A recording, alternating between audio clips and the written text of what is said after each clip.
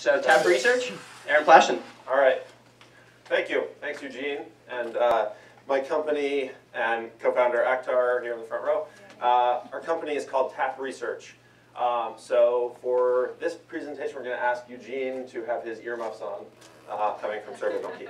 Um, I'm just kidding. He actually invited us to be here. Um, it's fine. We share. Um, so Tap Research is a mobile market research platform. So we are helping people create short surveys, distribute them to the target audience that they care about, and analyze their results, export them for further analysis. So everyone here is probably familiar with the idea that, and I can tell, uh, things are going mobile. Like half the room is looking at a mobile phone, literally, right now.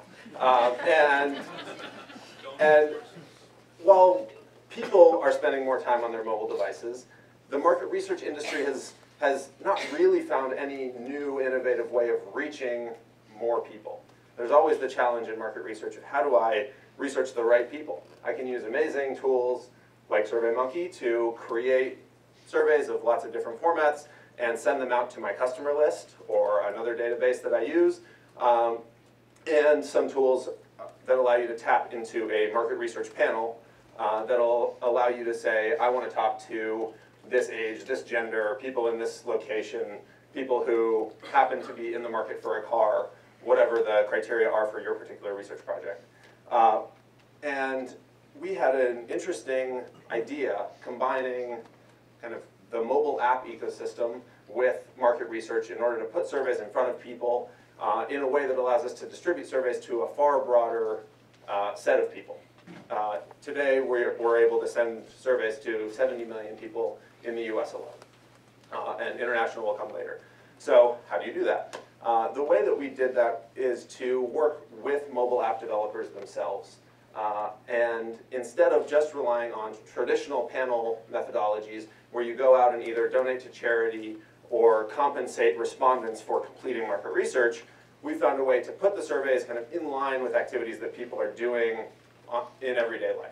So as you use mobile apps, and that is a, kind of the dominant use case on smartphones, even blowing browser-based usage out of the water, we are integrated so that when people are using a messaging app or a game or a navigation app, a whole bunch of different types of apps, that when there's a moment when the app publisher wants to monetize that application and ask you to unlock some premium content or, or, or, earn more rewards of whatever ilk they are in that particular app, we give them an alternative. Instead of only saying, do you want to charge, do you want to pay real money, uh, which very few people do. It's like a 3 or 4% kind of average conversion rate of people who actually pay the money to, to get the premium content.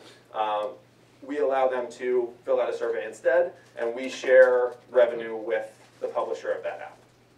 So we are really focused on survey distribution and how do we make it so that everyone is a survey respondent who doesn't mind sharing their opinion in exchange for some reward that makes sense in the moment um, versus the traditional methodologies. I thought that it would make sense for us because this is a demo event to actually do a real live survey right now. This is a little different than how our platform typically works where we're actually distributing these through apps.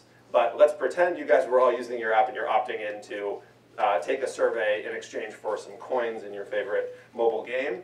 And uh, so I built a survey specifically for this event tonight.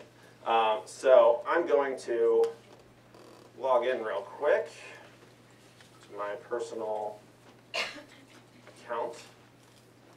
And we can see, I've already taken the survey, I kind of cheated, uh, as did Akhtar. Um, so we have two responses already on this survey, which is phenomenal. Um, but now we are going to see if everyone can pull out their phone and open their browser. Uh, I'm going to break the rules and show a slide because I'm not sure how else to actually put this on the screen. Um, and go to this bit.ly URL, please, if you have a browser. As many of, as many of you as possible. We're, this, we're trying to get 200 responses. I'm not sure what 200 people here. Uh, I don't have a QR code. That we could have done that, uh, but if you look down, I can read it to you.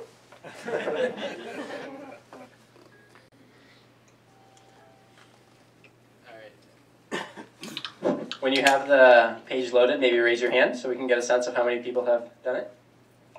Keep it It raised. should work, should be pretty quick. The survey is only a few questions, not subjecting you to anything cruel and unusual.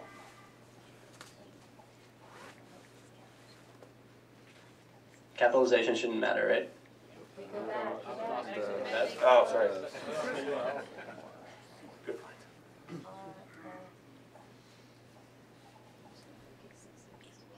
Yeah.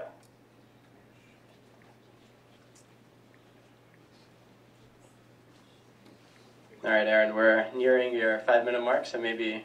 All right. How many people have been able to access the URL, complete the survey? Cool. Okay.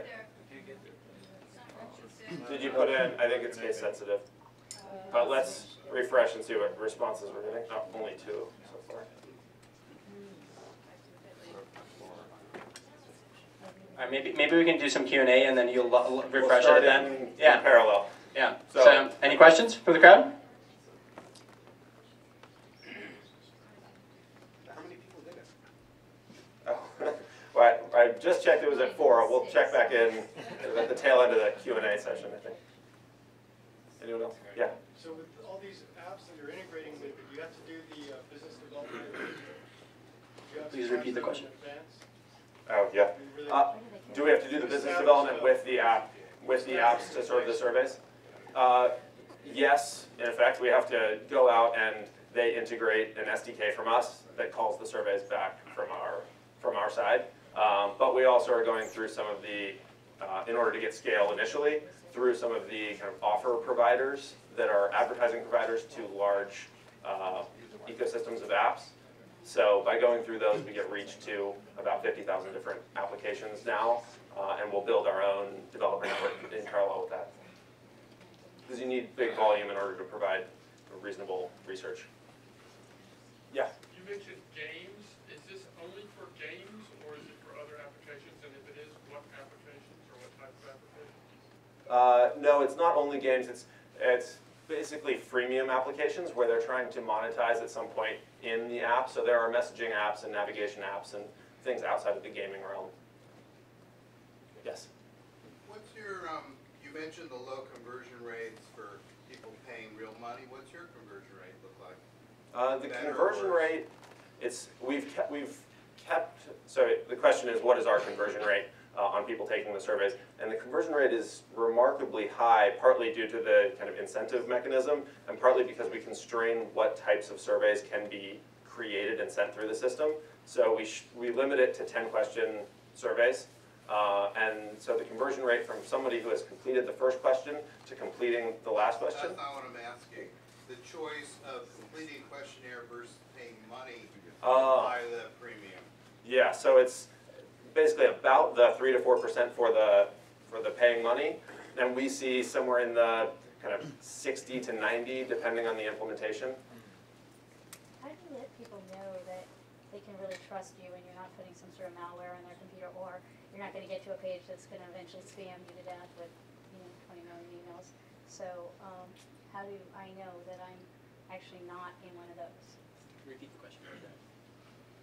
How do people know that we are not spyware or, or a spam site? Which is Um, ninety-nine percent of the surveys you fill out. They don't ever see them. Yeah, well, well, we don't ask for any personal identifying information, so people are usually, uh, it hasn't come up, or it's not a piece of feedback that we've rece- received, that's a big concern So you're gonna be reaching out to the public soon for, for your, Sorry, I'm not for your surveys. You're trying to make this broad scope. Yeah, we're, uh, we're distributing them nationwide now. So how do you assure me that I'm not, like, what, what are you doing to assure your, your user or your, your customer or your, whatever, the survey responder, that those things? Could you repeat the question for the people in the back? Yeah, uh, it's the same question. How, how do we ensure, Akhtar, do you wanna, So, uh, I think the, yeah, so, so in our surveys, we never ask a PII, personal information question. Uh, and secondly, we are embedded into a app developer's app.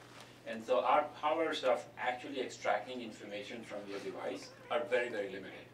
The developers are very concerned that we should not be putting anything in the apps that causes credibility loss of their app. So there's a gating factor in our actually accessing any device.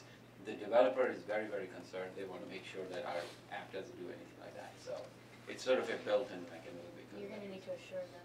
survey. We that- probably should say that more upfront, but, uh, but, yeah, we, we are sort of gated that. So let's refresh the Bitly and, uh, and with that. All right, so we got 17 responses. Um, and let's see. Survey doesn't work. Sorry? Survey doesn't seem to advance at least from my process. Huh, I'll check it out afterward. Um, huh, and maybe it's capitalization? No? No, Huh? you get to the survey, but just gets stuck. Strange. Well, Um, Aaron, you'll stick around after the Yeah, I'll- presentations and I- answer any I'm questions, right? interested in taking a look, yeah. Um, okay, Cool. thank you, and we'll, we'll be around Yeah. to chat afterward. Okay, all right, let's give it up for Tap Research. Thanks, guys.